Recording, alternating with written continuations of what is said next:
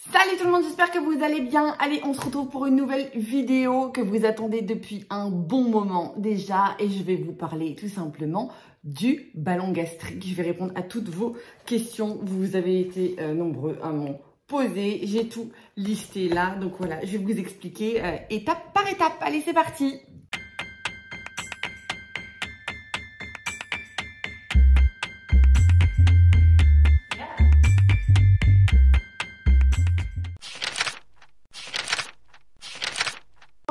je vais vous parler un petit peu de mon, euh, de mon, de mon passif, de mon passé.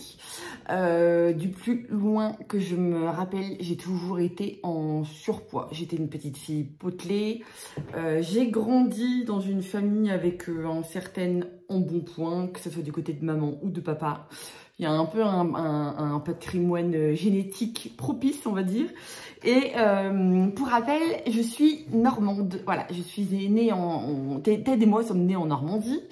Et euh, on a baigné euh, dans la crème et dans le beurre, voilà, avec des plats pas forcément diététiques, même pas du tout diététiques. Donc voilà, je sais pas euh, s'il y a des Normands, s'il y a beaucoup de Normands qui nous suivent ici, mais voilà, c'était pas des. Quand on mangeait des pommes de terre à la crème, c'était pas des pommes de terre à la crème, c'était la crème aux pommes de terre, en fait. Et euh, on chez, mes parents, on était les rois des tambouilles. J'étais dit aussi, hein, d'ailleurs, voilà, des, produits euh, réchauffés, anti-gaspi, tout. Mais vas-y que je remets de la crème, vas-y que je remets du beurre. Enfin voilà, on a baigné un petit peu là-dedans. Et aussi au pays du fromage, hein, voilà, sachant que nous, en plus, les régions euh, euh, propices euh, au fromage, voilà, on n'a pas arrêté de les accumuler au cours de notre vie. Bref, tout ça pour dire que ouais, j'étais du, du, voilà, j'ai toujours été en surpoids, j'ai toujours été ronde. dans mes souvenirs, alors je vais vous expliquer pourquoi je me rappelle de ça. Euh, à 13 ans, je faisais 1m58 pour 58 kg, ce qui n'était pas encore euh, extrême. Mais pour vous dire comme quoi euh, la diététique, c'était un, sujet un peu bizarre à la maison, c'est que ma maman m'a fait faire le régime sous peau fou en même temps qu'elle. À 13 ans, c'est pas trop adéquat hein, pour une jeune fille, mais bon, bref, voilà. C'est vous dire que c'était pas, c'était pas quelque chose de très euh, c'était même pas du tout important euh, dans ma famille. voilà, c'est pas quelque chose auquel il faut prêter attention. Euh, et voilà, c'était pas. Il y toujours des prétextes, c'était des gros os, c'est machin. Enfin voilà. Tous les prétextes étaient bons pour justifier un petit peu le surpoids. J'ai fait aussi, j'ai eu des troubles alimentaires qui se sont développés quand j'avais 17 ans pour des raisons familiales, hein, voilà, tout, tout, a toujours une cause, mais euh, euh, je suis tombée dans la boulimie, mais la boulimie hyperphagique, c'est-à-dire que je ne me faisais pas vomir. Donc j'accumulais, j'accumulais, et évidemment, j'ai dû prendre 30, 25-30 kilos en l'espace de 2 ans et demi, 3 ans, en fait. Voilà, ça a commencé à 17 ans, et euh, jusqu'à temps que je rencontre Teddy, en fait, hein, voilà, concrètement. Donc euh, je me suis mariée, j'étais déjà en surpoids, euh, j'avais même des gros problèmes de dos à cause de ça. Je me suis fait opérer les hernies discales, j'avais même pas 21 ans, euh, même les médecins n'en revenaient pas, enfin bref, voilà. J'ai toujours été ronde, toujours, toujours, toujours, je, je, voilà, je pourrais pas vous sortir une photo de moins mince parce que même depuis toute petite, voilà, j'ai toujours été potelée en fait. Et après, ça n'a fait que s'accentuer au fil des années. Avant de vous expliquer pourquoi j'ai fait le choix du ballon gastrique, je vais commencer d'abord par vous expliquer ce qu'est le ballon gastrique, euh, quel est son but Et eh bien tout simplement, c'est de perdre du poids. Euh, la petite différence par rapport à d'autres méthodes telles que la sleeve, euh, l'anneau gastrique, le, le bypass, c'est que euh, c'est une technique qui est euh, recommandée pour les, les personnes ayant une IMC supérieure à 27 mais qui ne sont pas non plus en obésité morbide. Voilà, tout ce qui est euh, euh, obésité très forte, voilà, les gens se tournent plus facilement vers la sleeve, le bypass, l'anneau gastrique. Là, le ballon gastrique, c'est vraiment euh, euh, adapté pour les personnes qui ne sont euh, ni trop gros, ni trop minces. Je pèse mes mots, évidemment, mais pour vous donner un peu une image. Alors moi, petite précision, j'ai choisi le ballon gastrique à l'Urion. Il y en a plusieurs autres sur le marché, euh, certains à l'étranger aussi. que je ne vous recommande pas, mais bon voilà, c'est un avis personnel. Donc voilà, moi j'ai choisi le ballon gastrique à l'Urion. Alors comment euh, ça se passe? Eh bien tout simplement, et pourquoi j'ai choisi? Tout simplement, euh, le ballon gastrique, il est posé sans la moindre anesthésie. Il n'y a pas d'endoscopie. en fait, il n'y a pas d'opération chirurgicale. vous n'êtes pas endormi, voilà, c'est très très rapide. Moi concrètement, la pose du ballon, elle a pris 10 minutes. Même le doc en revenait pas. J'étais j'étais la plus docile des quatre qui ont eu le ballon ce jour-là. Euh, c'est totalement indoleur. Voilà, ça, ça peut être euh, désagréable, mais il n'y a pas de douleur. Voilà, c'est franchement c'est très rapide. Et moi c'est exactement ce que je recherchais en fait. Je voulais je voulais pas de, de, de de chirurgie euh, invasive, j'étais pas prête à me faire rétrécir l'estomac, j'étais pas enfin voilà, je voulais pas de tout ça, je voulais pas être endormie, je voulais pas je voulais quelque chose de de de, de à, la, cool en fait voilà c'est ça. Je voulais un truc à la cool. Je voulais pas risquer ma vie justement pour perdre du poids. Et euh, très concrètement comment ça se passe? Et eh bien euh, ce ballon gastrique alors pour rappel le ballon gastrique euh, ça fait la taille d'un on va dire voilà c'est une poche comparez, ça un petit peu à, une poche d'implant mammaire en fait donc ça vous fait une poche euh, remplie de sérum physiologique. Il y a 550 ml de sérum physiologique. Je vais essayer de vous mettre une petite vidéo hein, sur le côté d'écran. Euh, donc c'est une poche que vous avez dans votre estomac. Alors comment ça se passe pour le poser? Bien tout simplement. Vous avez une petite capsule comme ça, donc ça fait euh, un petit, un petit bâtonnet comme ça, large comme ça, qui est relié à un petit cathéter, un petit fil. Vous le mettez, donc la capsule, vous la mettez au fond de votre gorge, vous ouvrez la bouche, vous mettez au fond de votre gorge, vous buvez de l'eau en même temps et vous avalez la capsule. Donc le côté, quand je vous disais que c'est pas, c'est indolore, mais par contre ça peut être un peu désagréable, c'est que moi, ce qui m'a gêné énormément, c'est le cathéter, c'est le fil en fait, voilà.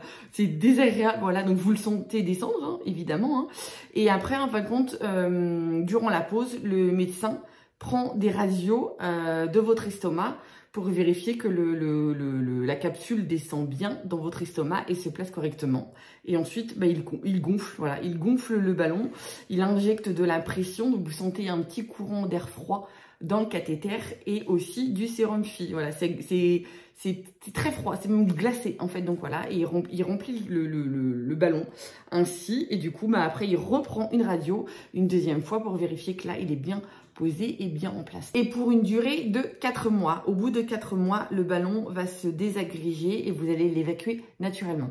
Donc voilà, la pose, franchement, c'est hyper, hyper rapide. Moi, j'ai mis plus de temps à m'habiller, me préparer et tout, que la pose en elle-même. On a même cacané, enfin voilà, euh, comment tu vas, tu fais quoi comme métier et tout. C'est super sympa. D'ailleurs, moi, euh, si jamais je vous le recommande, je suis passée par le docteur Voronka à la clinique euh, Occitane à Muret, donc tout proche de Toulouse. C'est une crème, c'est une crème. Franchement, il est adorable. Voilà, je vous le recommande vraiment. Et euh, il sait de quoi il parle. Euh, et il le vit parce que très récemment, là, je crois qu'il y a une semaine ou deux, il s'est fait poser lui aussi le ballon. Donc franchement, voilà, euh, je vous le recommande vraiment. Il est plein d'empathie et la clinique, elle est extra. Enfin voilà, il y a toute une équipe qui vous prend en charge. Franchement, c'est top.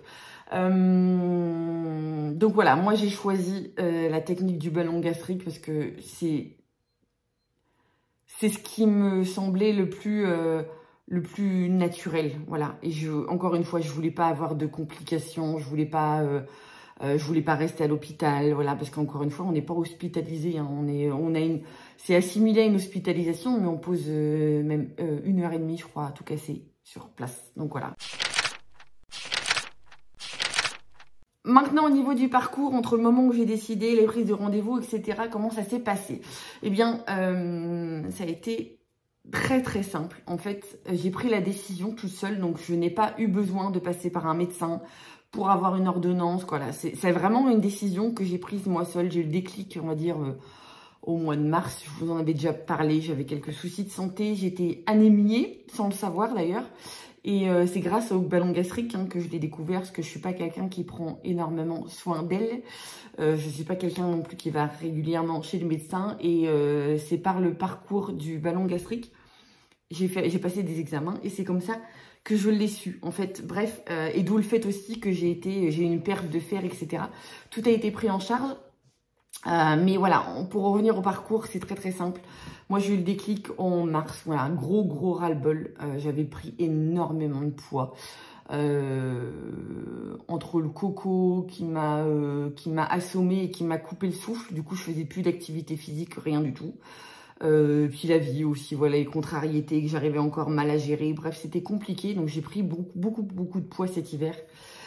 Et voilà, j'arrivais plus à me regarder dans la glace. Enfin, je faisais mine, hein. Enfin, voilà, vous, vous me connaissez, vous savez que je ne montre rien, que j'ai toujours le sourire même quand ça va mal. Bref, voilà, mais il fallait que je fasse quelque chose. Et moi, je suis assez euh, je dirais pas que je suis une fonceuse, mais quand je décide quelque chose, il faut y aller. Voilà, j'ai pas de, je vais pas tergiverser. Euh, voilà, c'est bon. Et euh, évidemment, la décision s'est prise en famille. Hein, J'en ai parlé avec Teddy. Euh, et après, ça s'est très vite enchaîné. Donc, pour ma part, à moi, j'ai contacté le site Allurion. donc, je suis tombée sur une plateforme, un monsieur qui m'a posé plein de questions et qui m'a proposé de répondre à mes questions. Alors, j'en avais pas beaucoup, parce qu'il y a tellement, tellement de, de, vidéos qui circulent sur le ballon que j'étais déjà super informée. Donc ça a été plutôt des questions au niveau coût, etc. Et euh, justement comment ça allait se passer euh, au niveau rapidité. Euh, et là, aussitôt, du coup, il m'a proposé un rendez-vous. Donc j'avais le choix entre deux cliniques. une à Tarbes et une à Muret, donc proche de Toulouse. Et j'ai privilégié celle de Muret, donc la clinique Occitane, tout simplement parce qu'il propose un suivi psychologique après le ballon. Donc ça, c'est pour moi, c'était très, très, très important. Euh, donc j'ai dû avoir, euh, entre le moment où j'ai appelé la plateforme à Lurion et le moment où j'ai eu rendez-vous avec le docteur, il y a dû y avoir un mois de délai.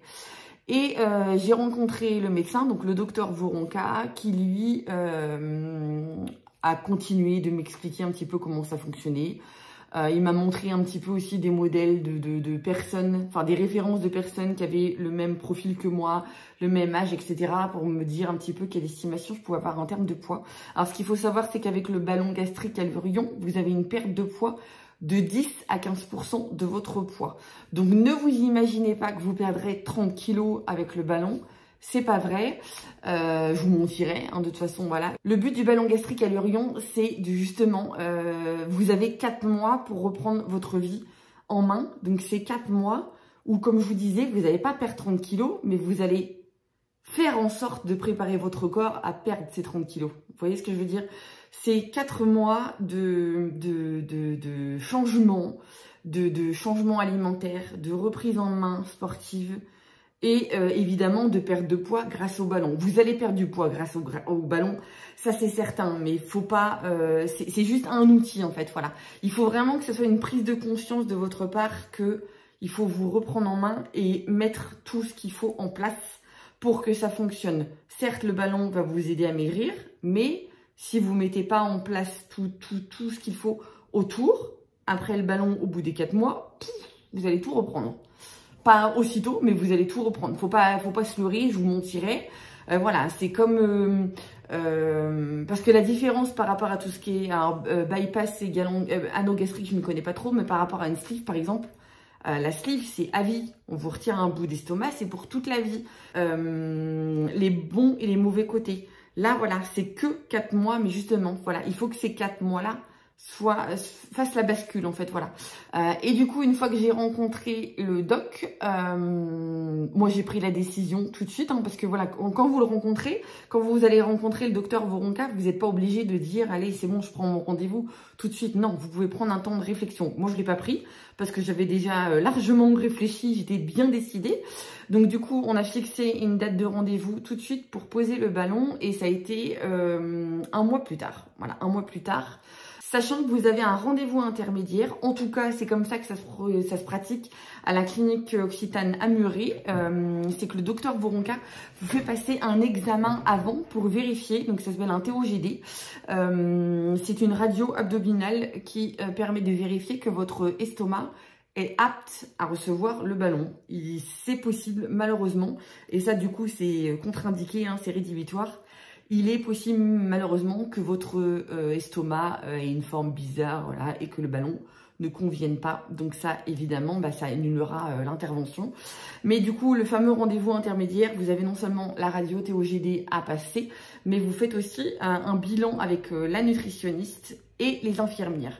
Donc là, voilà, vous avez tout qui se met en place. Vous faites un point un petit peu au niveau psychologique, euh, au niveau de vos habitudes alimentaires. Voilà, vous discutez de tout ça et vous discutez aussi de tout ce qui va être à mettre en place, notamment tout ce qui est programme sportif. Encore une fois, ce ne sont que des recommandations, mais des recommandations à mettre en place. Franchement, je vous y invite parce que ça fonctionne et je vais vous en parler après. Donc voilà, tout concrètement, voilà comment ça se passe. Et après, bah, du coup, moi j'ai eu ouais, 10 euh, jours, 15 jours après, j'avais mon rendez-vous euh, pour la pose du ballon. Donc encore une fois, entre le moment où j'ai appelé la plateforme à Lurion et le moment où je me suis fait poser le ballon, euh, concrètement, j'ai attendu deux mois en fait. Voilà, donc ça a été très très rapide. Le jour de la pause, comment ça s'est passé? Eh bien, donc comme je vous disais, je suis arrivée à la clinique. J'avais rendez-vous à 13h30. Euh, je suis passée en salle. On est, alors c'est une salle commune. Hein, c'est vraiment euh, c'est ça que c'est ça que j'apprécie beaucoup à la clinique Occitane, c'est que c'est, euh, on, a rendez-vous au pôle éducation santé, ça s'appelle comme ça, le pôle éducation santé, euh, et on est dans une salle à plusieurs, avec plusieurs personnes, avec euh, notamment plusieurs personnes qui vont se faire poser le ballon en même temps que vous, voilà, et, c'est, je dirais pas que c'est bon enfant, mais voilà, on a, il y a pas de stress, donc là vous vous mettez en tenue, on vous donne la petite blouse, les chaussettes et tout, parce que le docteur Voronka euh, à, son protocole à lui, c'est qu'il tient à faire l'intervention dans son bloc opératoire, même si ce n'est pas une vraie opération. Donc du coup, vous êtes habillé la tête aux pieds, la Charlotte, enfin voilà, tout le tout team. Euh, aussitôt, vous passez avec le docteur. Donc comme je vous disais, moi j'ai été plus longtemps en salle euh, d'attente à me préparer et à papoter avec les infirmières. Euh, à descendre les escaliers avec le docteur plutôt que de la pose du ballon parce que la pose du ballon concrètement ça a pris euh, comme je vous disais 10 minutes quoi ça a été hyper rapide euh, ensuite une fois que le ballon est posé dans votre estomac vous remontez dans la même salle où vous avez été accueilli pour discuter encore une fois avec les infirmières et aussi vérifier que vos sensations, voir comment vous vous sentez, vous avez une petite surveillance médicale.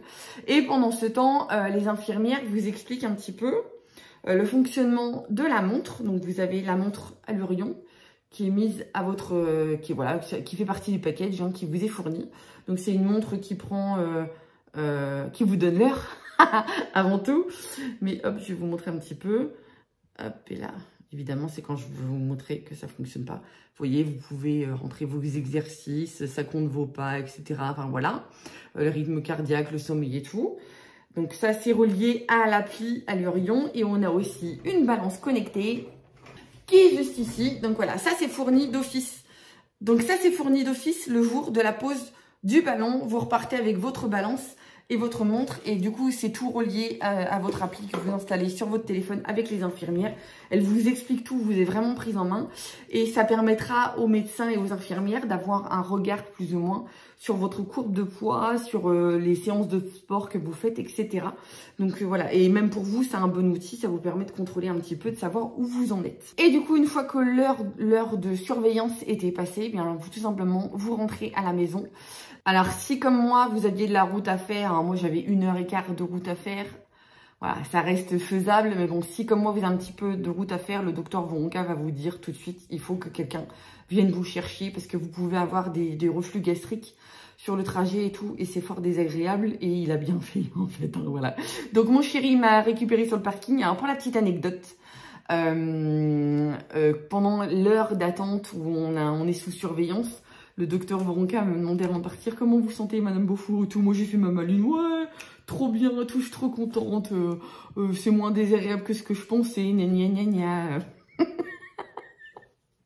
et juste le fait de descendre donc euh, je suis sortie de la salle, j'ai marché un petit peu, voilà, dans les couloirs de la clinique, je suis descendue par les escaliers, tout, parce qu'évidemment, hein, aussitôt on adopte les escaliers. Euh, rien que ça, le fait que le, ballon se positionne un petit peu, parce que les premiers jours, je vais vous expliquer, c'est un petit peu compliqué. Rien que ça, je suis sortie de la clinique, je me suis mise sur le parking, j'ai fait « Oh, c'est pas possible !» J'ai senti les reflux, la gêne au niveau de l'estomac et tout. Voilà, c'était très compliqué, donc j'étais très bien contente. Mais franchement, bien contente que Teddy vienne me récupérer.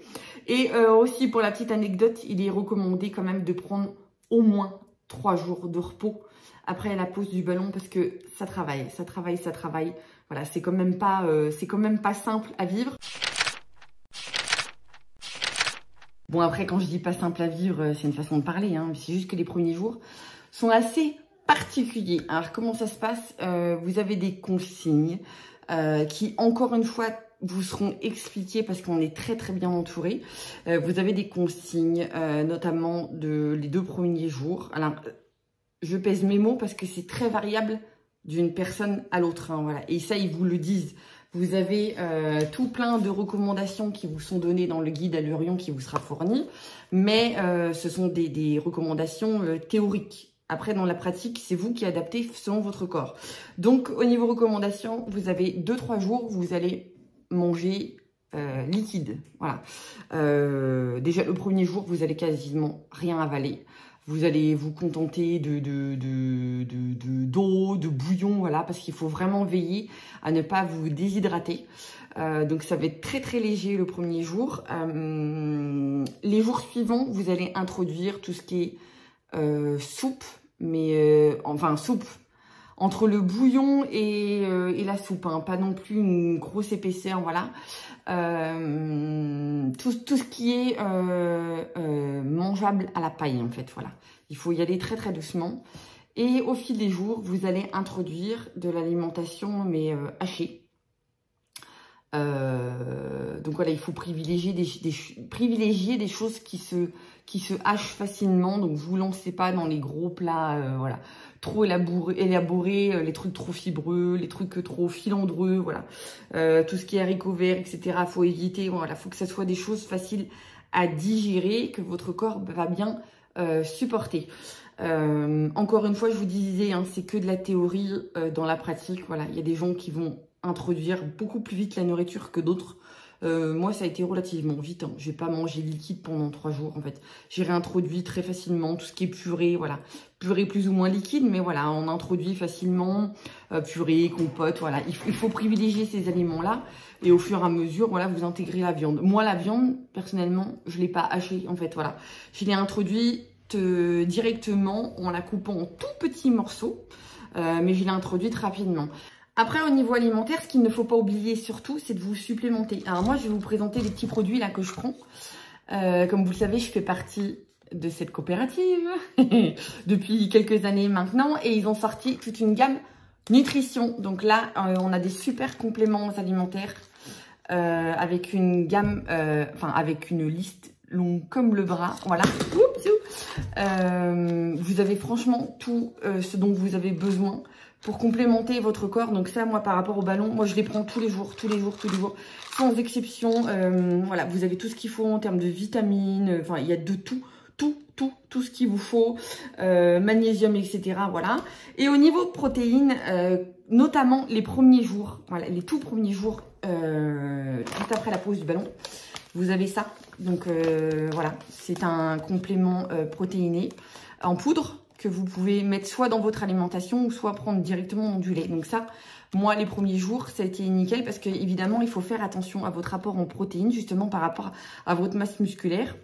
Après, euh, voilà, par rapport à l'urion, ils disent qu'il faut miser que sur les protéines. Moi, je suis pas entièrement d'accord, mais je ne suis pas une spécialiste. Mais bon, voilà, de toute façon, moi, je ne peux pas me contenter que des protéines, il me faut des fibres. Toujours est-il que, voilà, les protéines sont très importantes. Et ça, du coup, voilà, euh, dans la gamme nutrition. Vous avez des packs comme ça qui vous sont accessibles. Franchement, le prix, il est super intéressant. Euh, en plus de ça aussi, vous avez euh, le produit détox, détox élimination. Alors moi, je l'ai pas pris avec le ballon. Je l'ai pris avant le ballon. Si jamais, n'hésitez pas si vous êtes intéressé par ces produits-là. Je vais vous mettre le lien directement dans la description de la vidéo. Comme ça, je vous expliquerai comment il faut faire vous passez par la coopérative, vous ne pouvez ne commander que ça, si ça vous dit. Si vous êtes adepte des produits, euh, voilà, des compléments euh, et des produits protéinés, bah voilà, il est super bon. En plus, il a la vanille, donc n'hésitez pas. Euh, et quand je vous disais que c'était 4 mois pour vous reprendre en main, c'est que moi, j'avais un, un gros souci aussi par rapport à mon alimentation, c'est que je ne mâche pas. Voilà, je ne mâche pas. Et euh, je mange extrêmement vite. Enfin, je mangeais extrêmement vite. Mais quand je vous dis extrêmement vite, euh, et ça, ce sont des restes de, mes troubles alimentaires, hein, de ma boulimie. C'est qu'autant tout le caractère euh, psychologique a été soigné à l'époque quand j'ai été suivie, autant j'ai gardé toutes les mauvaises habitudes alimentaires. vous allez me dire, le côté psychologique a été soigné et fort heureusement. Et c'est ce que la nutritionniste que j'ai rencontrée m'a dit, mais c'est déjà une chance ça, ça a été soigné. Mais euh, voilà, malgré ça, j'ai gardé des très mauvaises habitudes et elle m'a dit oui, c'est sûr, vous posez pas la question, c'est un reste en fait. Donc euh, moi concrètement, à table, je mange en 5 minutes mais euh, je dévore. En fait, voilà, c'est ça, je ne mange pas. Je dévore, je me remplis, parce que pour moi, être à table, ça n'avait aucune utilité. C'était même pas un moment de plaisir. Je mangeais sans faim, en fait, hein, parce que voilà, sous prétexte que je mangeais à heure fixe, ben voilà. Euh, il fallait que ça se fasse, et du coup, limite, c'était une perte de temps. Donc tout ça, justement, vous allez avoir un gros travail à faire. Moi, ça a été ma grosse mission. Donc, sachant qu'il faut qu'un repas dure une demi-heure, voilà, parce qu'il faut 20 minutes à votre cerveau pour qu'il réalise que votre estomac est plein. Donc du coup, euh, il faut compter une demi-heure à table. Mon l'idéal, c'est une demi-heure à table. Euh, et il faut mastiquer. Tout ce que vous avez dans la bouche doit être mastiqué, doit être broyé. Et euh, vous devez mâcher ça dans votre bouche en jouant un petit peu avec votre salive. Il y a vraiment tout un travail qui, est fait.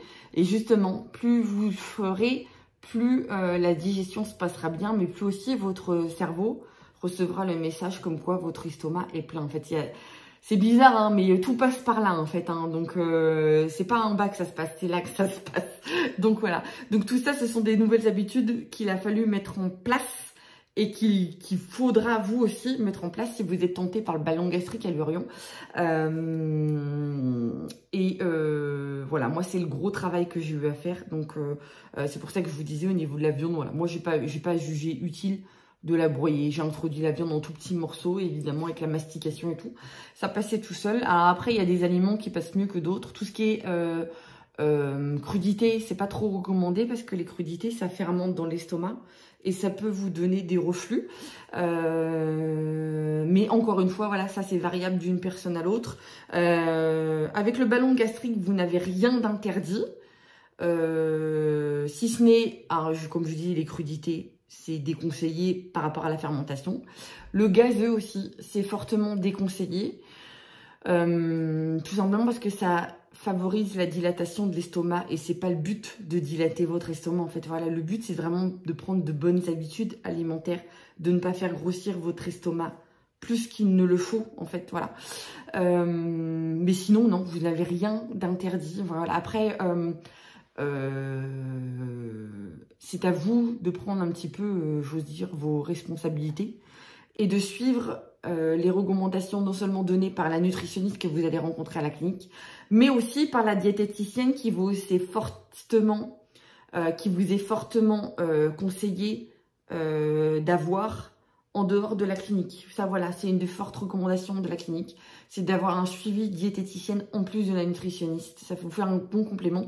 Sachant que la nutritionniste de la clinique, euh, vous la voyez en début, euh, enfin à la pause, enfin quelques jours, quelques, moi je voulais rencontrer une, deux, dix jours avant la pause du ballon et vous la voyez à la fin. Vous ne la voyez pas entre deux. Si vous en ressentez, ressentez le besoin, vous pouvez toujours la voir, mais voilà, concrètement, vous la voyez au début et à la fin. Donc, entre deux, il est fortement conseillé d'avoir un suivi diététicienne. Euh, après, voilà, hein, c'est comme je vous disais, c'est une prise de conscience. Soit vous appliquez les recommandations, soit vous ne les appliquez pas. Il y a des gens qui se font poser le ballon gastrique et s'imaginent que euh, euh, bah, ça va être miraculeux. Bah non, c'est pas miraculeux. C'est juste un outil. Ça fonctionne, vous allez perdre du poids, mais c'est juste un outil.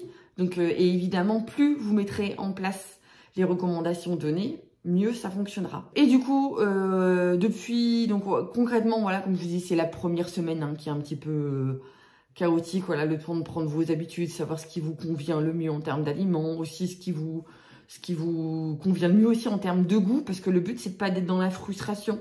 Vous adaptez votre, vous faites votre rééquilibrage alimentaire, mais il faut que vous ayez euh, faut introduire la notion de plaisir à table. En fait, il faut avoir des, assiettes sympas, voilà. Euh, en termes de quantité, euh, dès que vous commencez à manger, donc à la fin de la première semaine, on est plutôt sur du 120 grammes de nourriture dans l'assiette.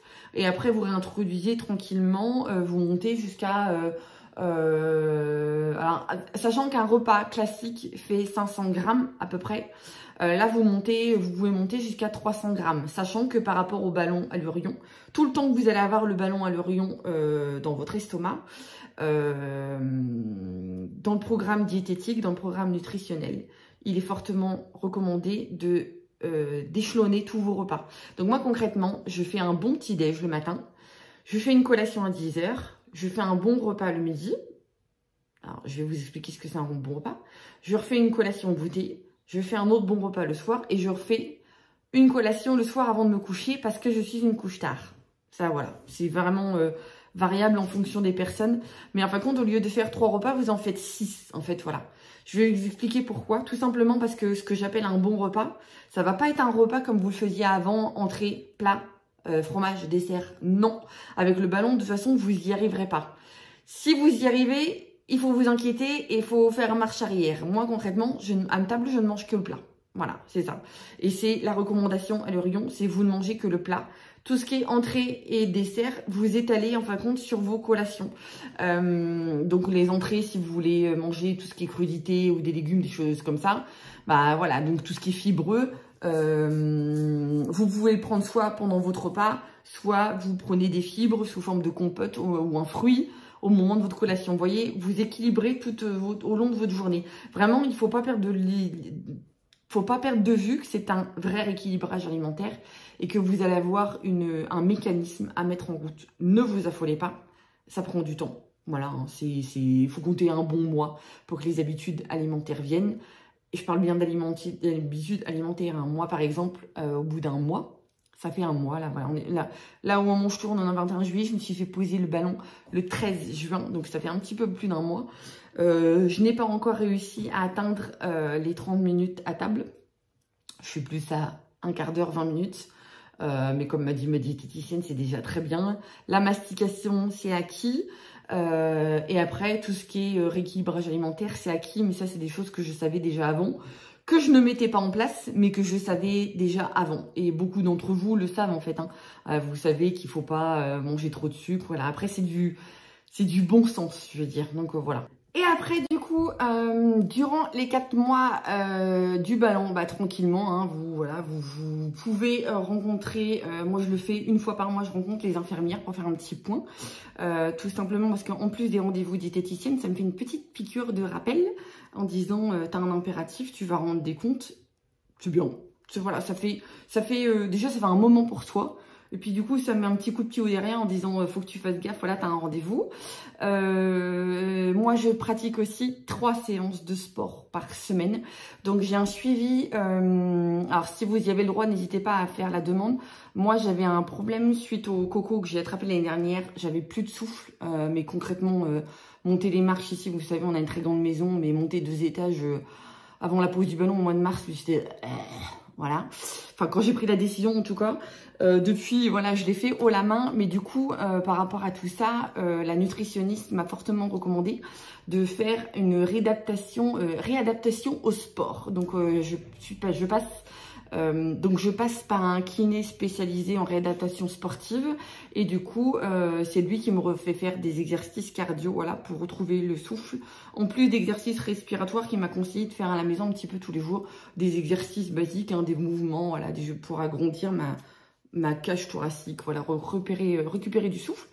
Euh, donc voilà j'ai trois séances de sport par semaine. Donc j'en fais deux avec le kiné je fais la marche rapide ici avec Teddy euh, ça m'arrive aussi de faire des séances de fitness sur YouTube. Il y a plein de séances gratuites pour tous les niveaux, donc n'hésitez pas. Euh, j'ai aussi l'aquagym qui devait commencer là au mois de juillet, mais finalement ils ont changé les plans. Donc c'est à la piscine municipale juste à côté de la maison. Donc au mois d'août, j'aurai l'aquagym euh, deux fois par semaine. Donc franchement, voilà, ça au niveau du sport, il faut y aller parce que euh, c'est le sport qui va euh, changer votre métabolisme. Et le but, c'est de remplacer votre masse grasse par votre masse musculaire et que votre corps brûle plus d'énergie euh, naturellement, en fait. Voilà, parce que euh, vos, muscles, vos muscles, ils vont brûler. plus vous serez musclé, plus vous aurez besoin de calories pour alimenter vos muscles Et donc, naturellement, votre corps, le votre métabolisme va s'accélérer, en fait, voilà. Moi qui ai un métabolisme très lent, mais très très lent, hein, moi je, concrètement, je regarde un bout de chocolat, je grossis, en fait. Donc voilà. Euh, bah là, voilà, le but c'est de l'accélérer, d'accélérer la machine, d'avoir un besoin calorique supérieur pour dire que voilà, naturellement, tous vos organes vont avoir besoin de calories et du coup, voilà, vous allez euh, maigrir plus vite, en fait, tout simplement, voilà. Euh, donc, suivi diététique, euh, le sport et le ballon gastrique. Voilà, là, vous avez les trois éléments qui font que vous allez perdre du poids. Donc, moi, concrètement, pour vous rentrer dans le vif, pour rentrer dans le vif du sujet, depuis le 13 juin, j'ai perdu presque 6,5 kg. Donc voilà, je suis hyper contente. Mais au-delà de ces 6,5 kg là, qui ont pas trop de valeur pour moi, c'est les centimètres. J'ai fondu, mais fondu, mais d'une manière assez incroyable. Je suis super contente parce que voilà, mon corps s'est transformé et continue de se transformer au fil des jours. Non seulement il y a le sport, mais voilà, il y a, tout en fait. C'est vraiment une globalité. Et dans ma tête aussi, voilà, il y a, il y a une grosse transformation qui s'est faite je prends du temps pour moi. Euh, voilà, hein, j'ai 42 ans, je vais en avoir 43. Il était temps que je me prenne en main et c'est vraiment, voilà, comme je vous disais, le ballon gastrique et le rion, c'est un package. Mais euh, moi, je, je, disais au doc, hein, parce que voilà, je l'ai vu hier récemment, il n'y a même pas une semaine, j'ai rencontré le docteur Voronka et je lui ai dit, moi, personnellement, ça a été bénéfique sur tous les points. C'est une transformation physique, mais aussi mentale, voilà. Et euh, le but, c'est de faire perdurer ça le plus longtemps possible.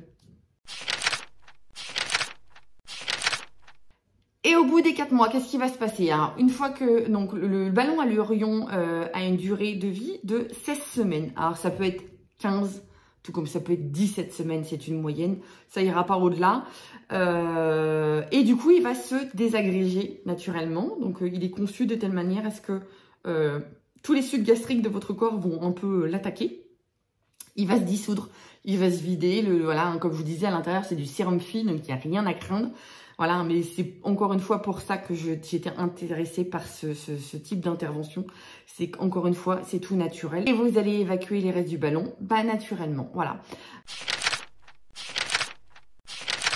Et du coup, après ça, la clinique euh, vous propose un suivi euh, à la fois diététique et psychologique. Donc, vous avez un programme qui est mis en place donc ça a une durée de 6 mois après le ballon. Donc vous avez rendez-vous un mois, 3 mois, 6 mois.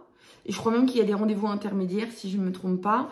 Euh, voilà, où vous faites des ateliers. Donc c'est sur des... Euh, c'est une hospitalisation. Ça s'appelle une hospitalisation, mais ça dure une demi-journée. Où vous voyez l'infirmière, la nutritionniste, euh, la psychologue alimentaire spécialisée alimentation. Et euh, voilà, vous faites des petits ateliers, vous mangez avec les copains et les copines. Voilà, c'est très très sympa. Et ça, ça nous est fortement recommandé. C'est comme ils disent à la clinique, hein, ils sont, ils vont pas nous laisser euh, dans la nature en disant c'est bon, votre ballon c'est fini, bah bye bye, au revoir. Non, c'est pas le cas. Ça n'est pas obligatoire, mais c'est fortement recommandé. Après, libre à chacun de le faire ou pas en fait. Et du coup, la question qui fâche et que vous avez été très très très nombreux à me poser, je crois que vous me l'avez tous posé, le coût. Alors, ce qu'il faut savoir, c'est que le ballon gastrique à euh, tous les ballons gastriques d'ailleurs, ne sont pas pris en charge par la sécurité sociale. Euh, donc vous aurez tout à financer de votre poche. Alors rassurez-vous, euh, vous avez possibilité de payer la clinique euh, et la pose du ballon en plusieurs fois. Mais concrètement, vous en avez pour 3000 euros. Alors 3000 euros sont le suivi diététique. la diététicienne, ça c'est en libéral, donc c'est vous qui le ferez en dehors. Et ça, la diététicienne, ça peut éventuellement être pris en charge par votre mutuelle. Là, moi, je vous parle vraiment du forfait euh, clinique et forfait pose du ballon. Voilà, vous en avez pour 3000 euros. Encore une fois, je vous disais, vous pouvez payer en 3 ou 4 fois. Moi, c'est ce que j'ai fait, hein, pour rien vous cacher. Et du coup, par rapport aussi au jour de, de congé qu'il est recommandé de prendre après la pose du ballon, bah, comme le ballon n'est pas remboursé par la Sécu, c'est pareil pour l'arrêt de travail, il peut pas être indemnisé. Donc voilà, ça c'est vraiment euh, un calcul à faire, prendre des jours de vacances, voilà, qui faire en sorte qu'il vous en reste pour pouvoir vous libérer un petit peu de temps après la pose du ballon. Donc voilà un petit peu, euh, je crois euh, vous avoir donné toutes les explications, avoir répondu à toutes les questions que vous m'avez posées. Euh, si j'en ai oublié, n'hésitez pas à me les mettre en commentaire et je vous y répondrai volontiers. mais toujours est-il que voilà, moi pour résumer un petit peu tout ça, je crois que c'est une des meilleures décisions que j'ai prises de ma vie. Ça se passe très bien pour moi. voilà, la perte de poids et est euh, bien enclenché. Euh, je suis contente de tout ce que j'ai mis en place et ça me fait même très bizarre parce que euh, par rapport au sport, je suis pas devenue accro, mais c'est devenu un réel besoin pour moi. Quand il y a toujours la montée de d'endorphine, voilà, après la séance de sport et, et, besoin de me défouler, besoin de prendre du temps pour moi, voilà. Encore une fois, même si vous faites ça qu'à la maison, c'est déjà exceptionnel. Moi, j'ai choisi de le faire dehors parce que j'ai vraiment besoin de d'être coachée, d'avoir quelqu'un derrière mes fesses pour me pousser. Mais après, voilà, chacun un petit peu euh, prend et fait de la manière dont il a envie.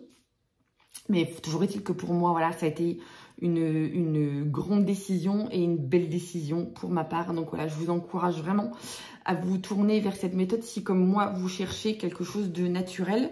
Euh, petit bonus si jamais vous êtes intéressé, j'ai pas de code promo, j'ai pas de choses comme ça parce que ce n'est pas une vidéo sponsorisée, je le précise. Par contre, le docteur Voronka euh, m'a fait une petite fleur, c'est-à-dire que si jamais vous allez à la clinique Occitane à Muret de ma part et que vous prenez rendez-vous avec le docteur Voronka, ne serait-ce que pour avoir des infos, euh, il vous si vous venez de ma part, si vous dites, précisez bien que vous venez de la part de Ophélie Beaufour, il vous fera passer en priorité. Donc voilà, ce qui va vous permettre de réduire les délais. Donc voilà, je pense avoir fait le tour sur ce. Euh, voilà, encore une fois, n'hésitez pas si vous avez des questions complémentaires. Et je vous fais des gros bisous. À bientôt, salut, salut